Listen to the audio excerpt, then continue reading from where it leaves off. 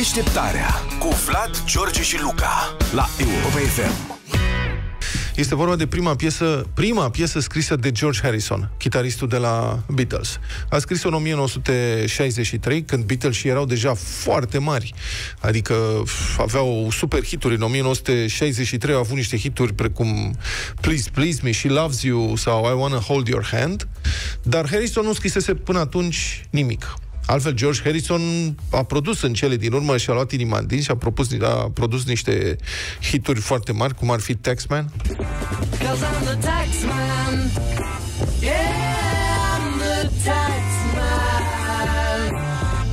Altul foarte mare, alt hit mare de tot, While My Guitar Gently Weeps.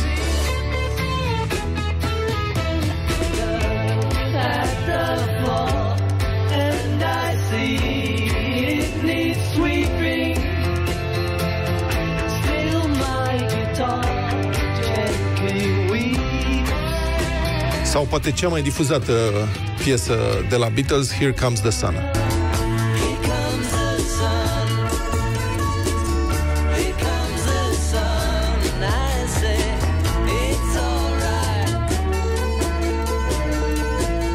Una peste alta, George Harrison a scris 15 piese cu totul, pe multe nu le știm, deci e important să perseverezi totuși, adică chiar dacă nu ți iese din prima sa încredere în tine, că până la urmă poate cine știe dai lovitura, dovadă prima piesă semnată de George Harrison. Asta e părerea mea, eu o să vă cer părerea vouă după ce o difuzăm, să vedem ce credeți.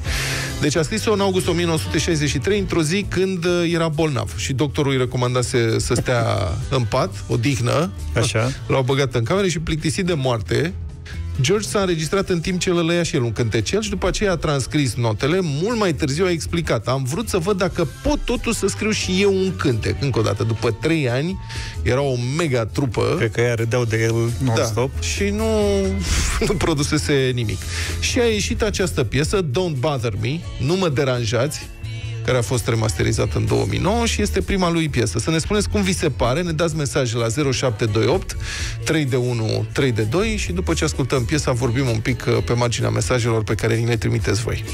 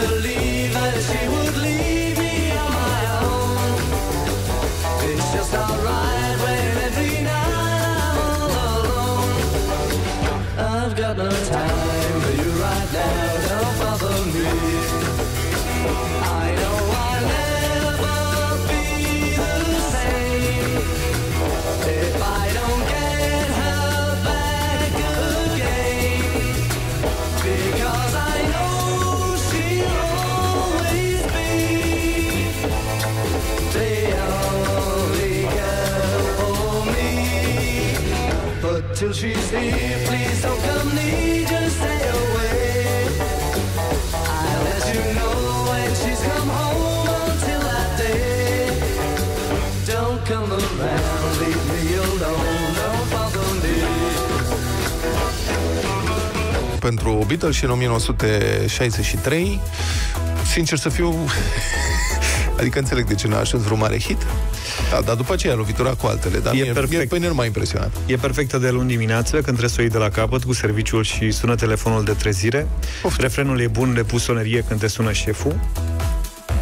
Călin zice că e delicioasă piesa Mi-e dor de liceu. Ok. Uh... Foarte bună piesa. Toate piesele scrise de George sunt foarte bune. Spune Ioana din Cluj-Napoca. Nu sunt multe. Pune un playlist. Hai, facem radio voting cu ea. nu azi, că avem altă piesă pregătită. Piesă pentru drum lung. Îmi place, zice Cristi din Alexandria. Mi-e dor de liceu, delicios. Zice Călin din Buzău. De liceul delicios. Am zis de două ori asta, da. Da. Am zis de două ori? Am mă rog. și o dată tot, dată tot. N-are nimic, o să mai spui a treia oară. Tamburina aia de pe fundal strică toată experiența. Dar nu este de aruncat, zice Costi. De, de lepădată. De pus în ieră bară. Deci dacă n-ar fi fost tamburina, îi plăcea și mai mult. Da, nu prea avem cum să mai anunțăm că tamburina strică totul, dar să difuzăm mâine cântece din anii 60. Hey, Mr. Tambourine Man. Unde putem să Băl, facem băl, mâine o băl, bătălie, băl, băl. o bătălie cu piese Beatles, că n-am mai făcut de mult. Ah, putem să încercăm, da, chiar așa. Zic. Super. Bine. Deșteptarea cu Vlad, George și Luca la Europa FM.